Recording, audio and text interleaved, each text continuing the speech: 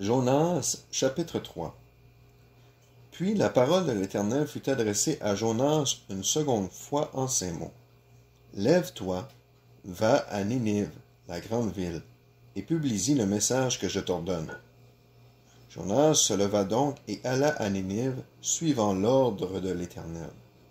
Or Ninive était une grande ville devant Dieu, de trois journées de marche Jonas commença de pénétrer dans la ville le chemin d'une journée, et criait et disait Encore quarante jours, et Nénive sera détruite. Et les gens de Nénive crurent à Dieu. Ils publièrent un jeûne et se revêtirent de sacs, depuis les plus grands d'entre eux jusqu'aux plus petits. La chose parvint au roi de Nénive. Il se leva de son trône, ôta de dessus lui son manteau, se couvrit d'un sac et s'assit sur la cendre.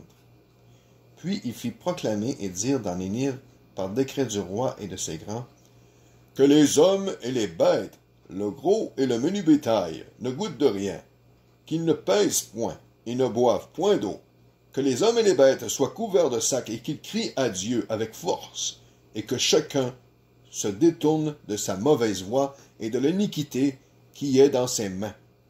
Qui sait si Dieu ne reviendra pas et ne se repentira pas et s'il ne reviendra pas de l'ardeur de sa colère, en sorte que nous ne périssions point. Or Dieu vit ce qu'ils faisaient, comment ils se détournaient de leur mauvaise voie, et Dieu se repentit du mal qu'il avait parlé de leur faire, et il ne le fit point.